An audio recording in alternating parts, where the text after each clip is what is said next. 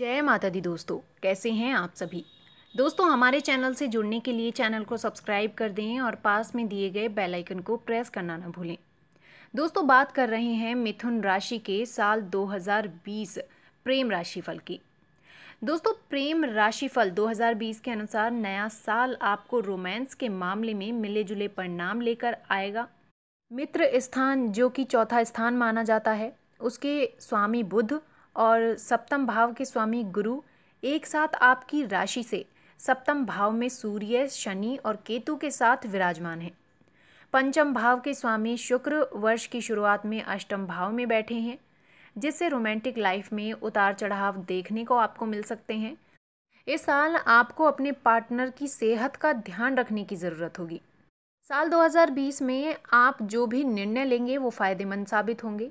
संभव है life partner को लेकर भी आपके मन में किसी तरह की दुविधा ना रहे। दोस्तों, आपकी राशि के स्वामी बुध, साल 2020 की शुरुआत में सप्तम भाव में होने से आपकी राशि को पूरा सहयोग देंगे। लेकिन शुक्र के अष्टम भाव में होने से लाइफ पार्टनर की सेहत का आपको ध्यान रखना होगा। इस समय अपने साथी के साथ आप समय व्यतीत करेंगे, उनके प्रति अपना प्यार जता सकेंगे, अपने रिश्ते को और भी अधिक विश्वासपूर्ण और मधुर बना सकेंगे।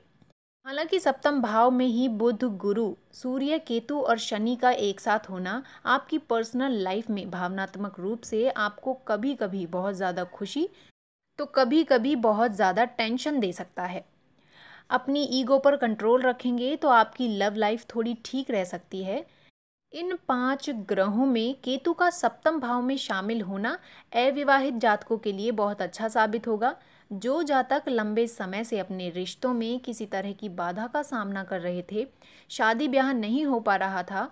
जिनके विवाह की बात तो होती थी, लेकिन रिश्ते नहीं टिक रहे थे। उनके लिए इस साल अचानक से चट मंगनी पट ब्याह के योग बनेंगे। साल 2020 के मई के महीने में लगभग मध्य में गुरु वक्री हो जाएँगे, जिससे आपके लिए नए द्वार खुल सकते हैं। जो जातक अभी सिंगल हैं, उन्हें अपना पार्टनर मिल सकता है। जिन जातकों के रिश्ते की बात अभी अधूरी चल रही है, उनके लिए विवाह के योग बनेंगे। हालाँकि विवाहित जातकों को संभल कर रहने की ज़रूरत है। विशेषकर जिन जातकों के पर्सनल रिलेशनशिप अच्छे नहीं हैं, उन्हें खासकर संभल कर रहने की ज़रूरत है।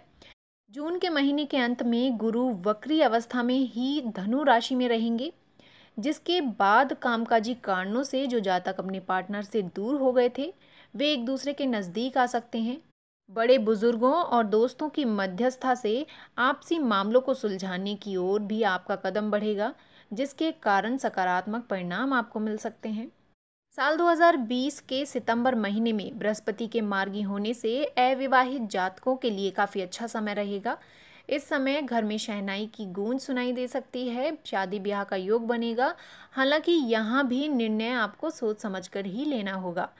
किसी तरह की जल्दबाजी दिखाने की कोशिश बिल्कुल ना करें। सितंबर के महीने में ही राहु और केतु का परिवर्तन होगा, जिससे केतु आपके सप्तम भाव से निकलकर छठे घर में प्रवेश करेंगे। ये भी आपकी रोमांटिक लाइफ के लिए शुभ समय की शुरुआत कही जा सकती है।